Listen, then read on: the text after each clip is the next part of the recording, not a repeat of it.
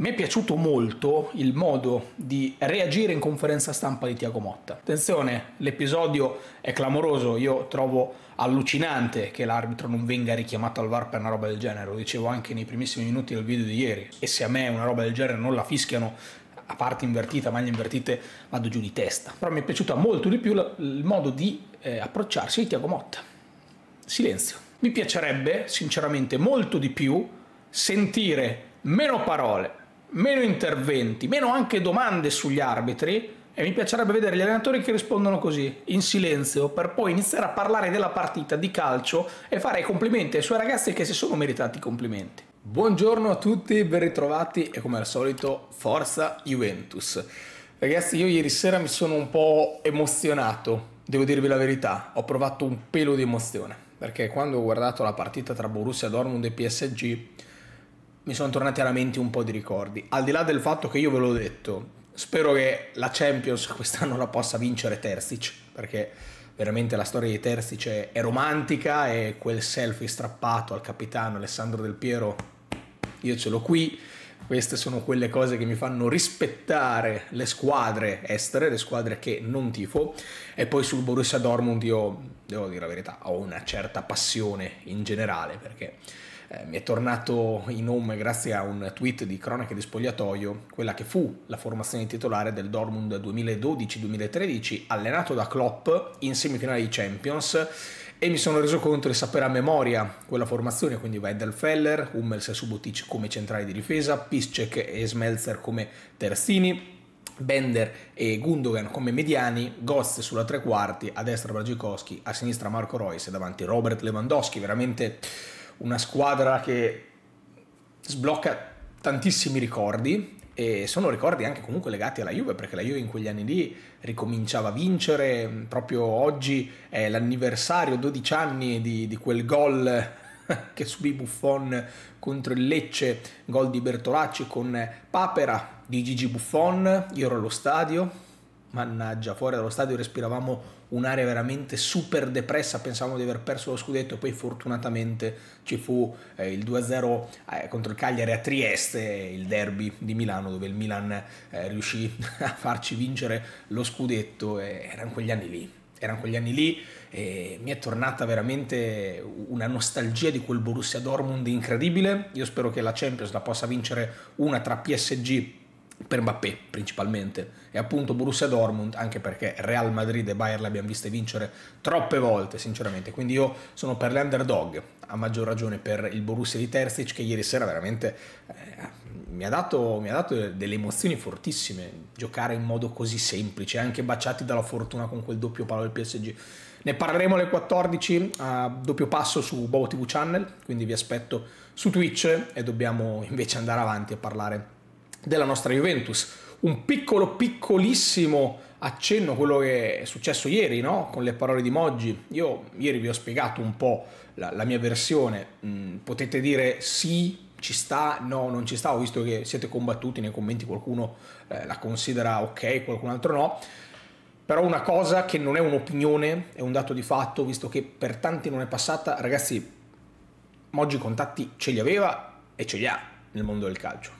Cioè, Moggi non è un semplice tifoso, non, non, c'entra neanche quello che ha fatto in passato, la radiazione, le sentenze, non c'entra niente.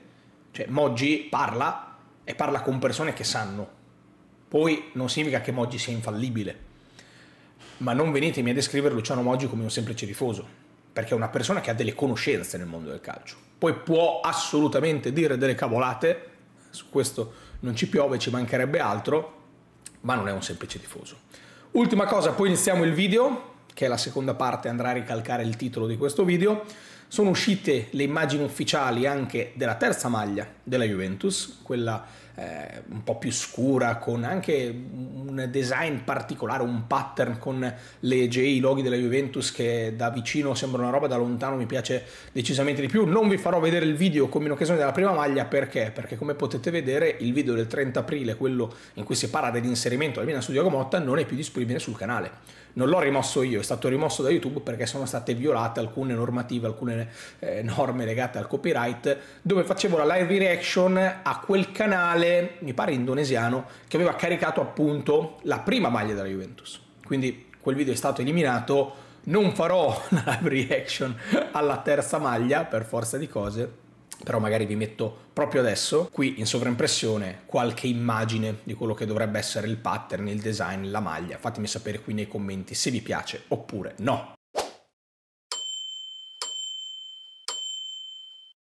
E adesso invece parliamo di Tiago Motta, un argomento nuovo, no? inedito. Allora, dato che, mh, mm, ripeto, per me sarà Tiago Motta, poi potrebbe rimanere Allegri, potrebbe arrivare Conte, potrebbe arrivare un Mister X che sa soltanto Giuntoli. Ragazzi, fino a che non c'è l'ufficialità tutto può essere, tutto può essere. In questo momento io penso che Allegri verrà esonerato una volta raggiunta la matematica, l'aritmetica qualificazione alla Champions e Tiago Motta verrà annunciato una volta che anche il Bologna saprà di che morte morire. Questa è la mia previsione. Giusta, sbagliata? Non lo so, è la mia previsione, da, dettata da quello che, che sto raccogliendo in giro, che sto captando. Quindi un po' di Tiago Motta bisogna parlarne. Pregi e difetti di Tiago Motta. Questo è il contenuto del video che dopo un po' di chiacchiere, ma erano cose che volevo dirvi, riusciamo finalmente a snocciolare e a sviscerare. Io di cavolate su YouTube ne ho dette tante in questi quasi dieci anni, quindi vi invito, se ancora non l'avete fatto, a iscrivervi al canale perché tra due settimane, anzi meno, tra 12 giorni festeggeremo i dieci anni di YouTube. Quindi io in dieci anni di YouTube di cavolate lato calcio ne ho dette tante, continuerò a dirle e quindi voglio aggiungerne un'altra. Tiago Motta alla Juventus. Partiamo da un presupposto.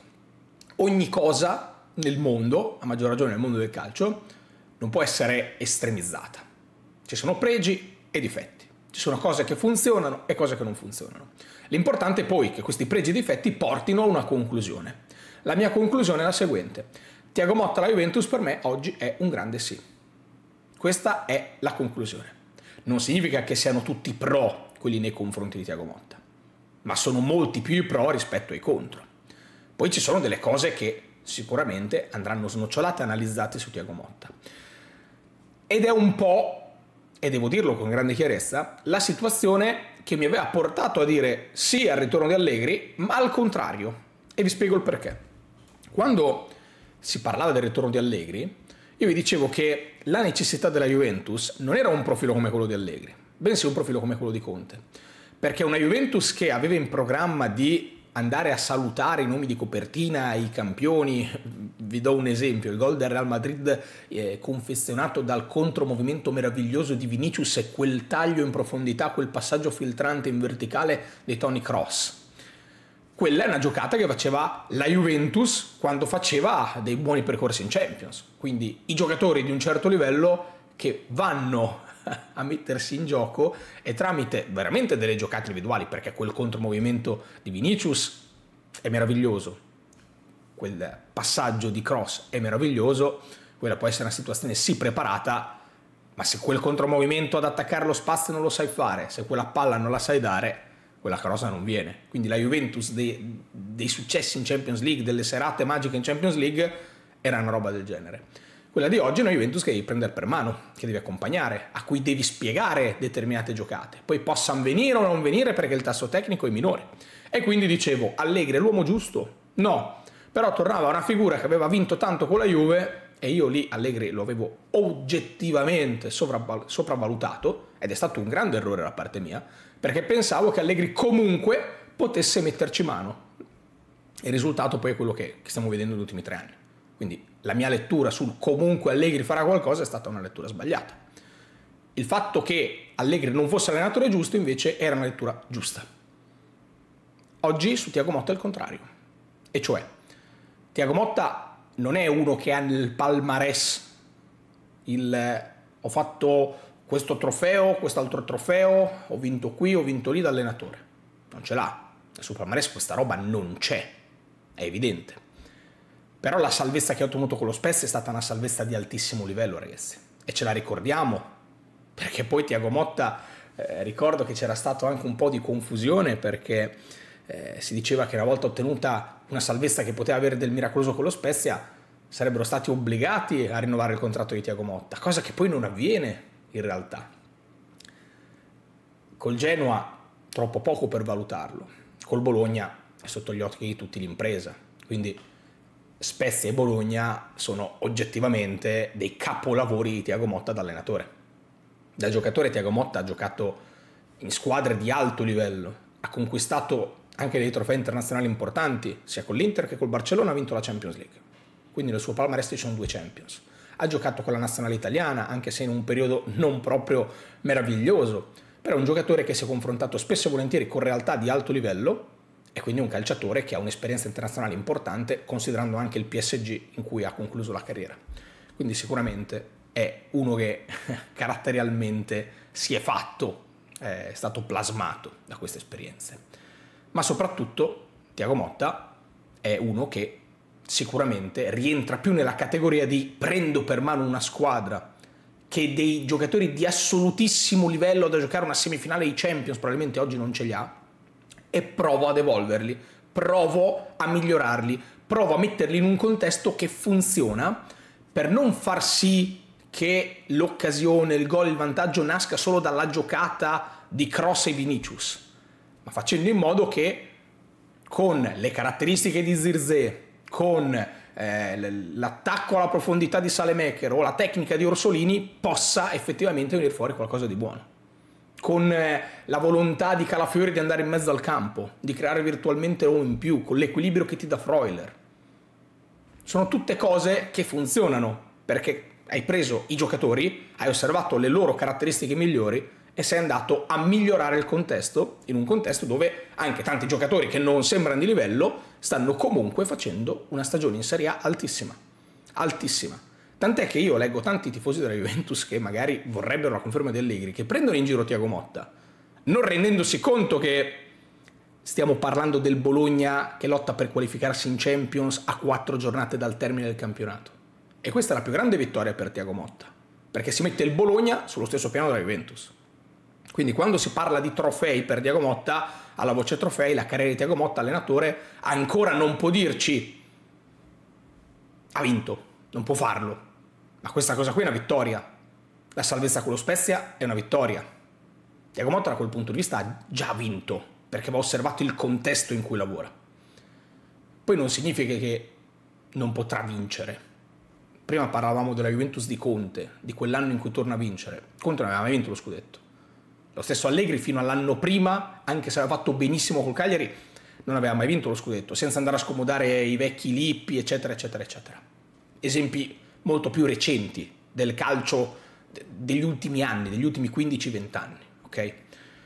Poi c'è da dire una cosa, Tiago Motta, un conto allenare lo Spezia, il Genoa, il Bologna, un conto allenare la Juventus, ci sono pressioni differenti. Io questa cosa la sposo in pieno, al 100%. Questo significa che non darei una possibilità a Tiago Motta? No, perché poi va analizzato il lavoro, vanno analizzati i risultati, vanno messi nei contesti e vanno tirate le righe. Quindi non significa che Tiago Motta arrivando alla Juventus sarà l'allenatore perfetto, eccetera, eccetera. Però può essere l'uomo giusto al momento giusto, nel contesto giusto, con una squadra che ha determinati obiettivi. Vuole arrivare lì in quel modo lì.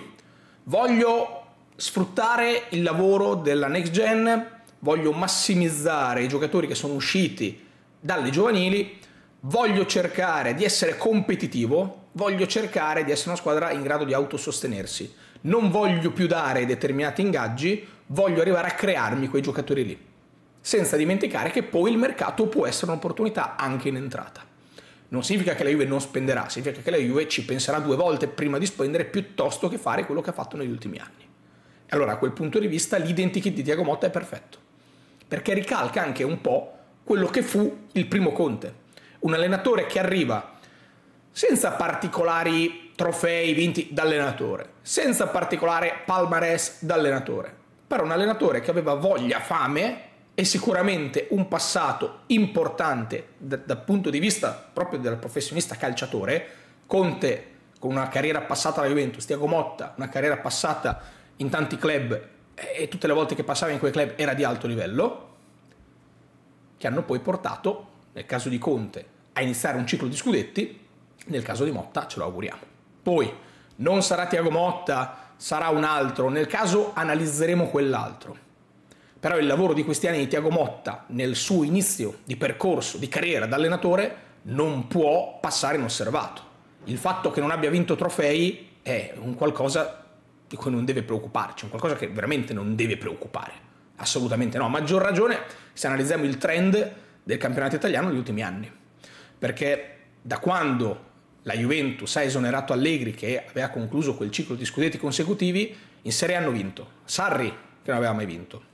Conte con l'Inter, che era l'unico che aveva vinto lo scudetto nel nuovo ciclo di allenatori che poi hanno vinto, perché poi vince Pioli, che non aveva mai vinto, Spalletti, che non aveva mai vinto, Inzaghi, che non aveva mai vinto. Significa che negli ultimi 5 anni hanno vinto lo scudetto 4 allenatori diversi che non avevano mai vinto lo scudetto prima. E negli ultimi 5 anni 5 allenatori differenti. E negli ultimi 6 6 allenatori differenti, di cui soltanto 2 avevano vinto lo scudetto prima. Quindi la Serie A sta entrando in una nuova dimensione questi allenatori emergenti che stanno venendo fuori in questi anni non significa che siano tutti bravi, bravissimi, pronti per le big, idonei per le big. Però significa che negli anni in cui venivano fuori eh, gli Spalletti, eh, i Conte, gli Allegri, eh, tutti quegli allenatori che hanno fatto quegli anni lì, i Mazzarri, eccetera, eccetera, eccetera, i Murigno, sono arrivati ora a un punto in cui inizia la nuova generazione di allenatori che vedremo nei prossimi anni i Tiago Motta, gli Italiano, i De Zerbi, secondo me torneranno fuori anche i Dionisi, adesso non me ne vengono in mente tantissimi altri, ma sicuramente avremo a disposizione tanti altri allenatori, e i Tudor che nei prossimi anni, i De Rossi che nei prossimi anni eh, faranno parlare e devono soltanto arrivare alla panchina giusta, alla panchina importante.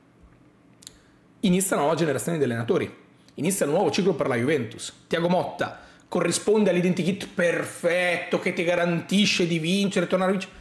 No, e per un motivo, non esiste. Non esiste l'identikit perfetto dell'allenatore che ti garantisce la vittoria. Non esiste. Tu devi soltanto analizzare il tuo contesto, quello che hai, quello che vuoi fare e capire qual è il progetto sportivo giusto. E allora, su Tiago Motta, è logico che mi viene a dire sì, lo Spezia e il Bologna dimensioni di un certo tipo, la Juventus un altro. Ma questo non significa che allora non debba dare la possibilità a Tiago Motta. Sono qui a dirvi con Tiago Motta la Juve 100% vince lo scudetto? No, ma non c'è un allenatore nel mondo che mi fa dire al 100% l'anno prossimo si fa questo o quest'altro. Hai delle garanzie per avvicinarti a farlo. Per esempio, se prendi Conte, è ovvio che l'idea è quella che per la storia di Antonio Conte si riuscirà a provare a competere da subito. Ma non è scontato a maggior ragione perché Conte ti chiede intanto un ingaggio di un certo tipo e poi degli investimenti per arrivare a quella che è la sua idea, perché Conte in questi 12 anni da quando ha fatto vincere lo scudetto per la prima volta la Juventus è diventato un allenatore con un altro status e ha delle altre richieste ed è un allenatore che difficilmente rimane in una squadra per tanti anni, non lo fa. Abbiamo visto, i suoi cicli durano due o tre anni, poi qualcosa si rompe e Antonio Conte deve andare via, deve provare nuove esperienze ma tutte le sue esperienze ricalcano lo stesso modello. Ti porto a vincere in pochi anni, ma è una cosa che dura poco. Questo è Antonio Conte. Non esiste un allenatore che al 100% ti fa dire vinci, ci sono quelli che ti dicono te lo so iniziare come Conte, te lo so proseguire se è partito come Allegri e quelli che sono in rampa di lancio e quindi Tiago Motta è un grande sì perché i pregi sono decisamente più dei difetti.